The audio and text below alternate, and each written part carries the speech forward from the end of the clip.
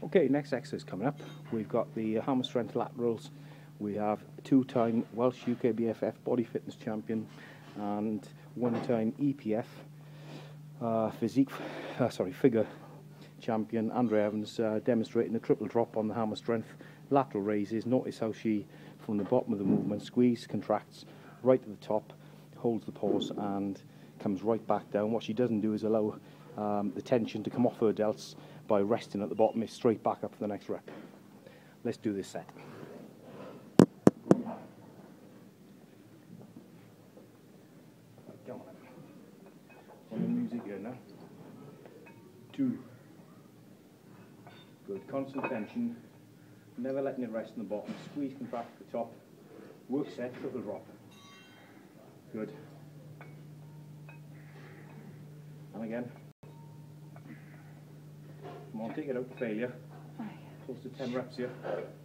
Up. Oh, we're getting there now. Just one force rep. I'm going to do back down. One more. Yes, that's good.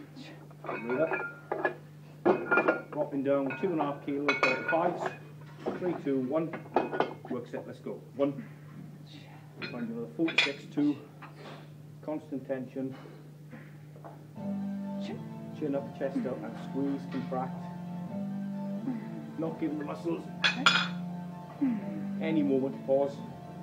Come on, one more rep. Gotta do one more. Up, up, up, up, up. Yep, finish it off. Good. Last one coming up. Last drop set. And less attack. One. You also lightweight. Notice you squeezing, controlling. Everything deliberate. Bottom the movement. The upper arm and humerus doesn't touch the uh, lats. And therefore there's always tension on those anterior deltoids. Squeeze. Come on, finish it off. Nice. One more. Up, up, up, up. And controlling down negative. Good set. That's how you girls should do that set. If you want nice rounded uh, delts when you got that cut off top on in the summer, that's how you're going to look good.